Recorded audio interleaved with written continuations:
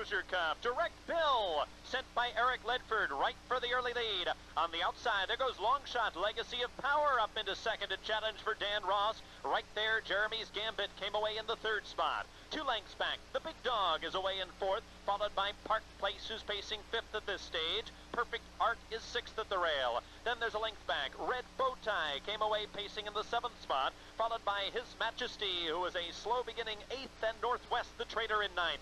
26 and 2.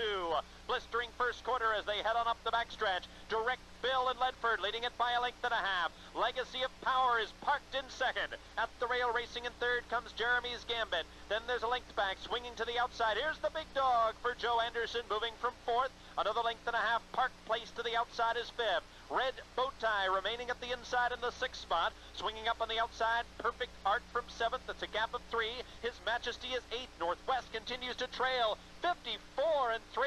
Quick fractions into the turn as Direct Bill hasn't had a breather the entire way. He's been pushed by Legacy of Power every step. Along the inside, Jeremy's Gambit simply awaiting racing room in third for Campbell. The big dog now swings to the far outside from fourth and trying to follow that move. Park Place from fifth. Then it's Red Bowtie who's been locked in at the rail in sixth. They hit three quarters in 123 flat.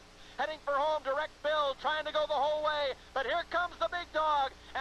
Between horses, Jeremy's Gambit is on the move in third. Gaining ground from in between horses, fourth comes Jeremy's Gambit to the front now. Gaining ground on the far outside, Perfect Art. In between horses, the big dog is third. Red bow tie hunting for racing room. Jeremy's Gambit with the lead. Here comes Perfect Art on the outside. And Perfect Art is up to win it. Perfect Art in 151 flat. Jeremy's Gambit was second. Photo for third.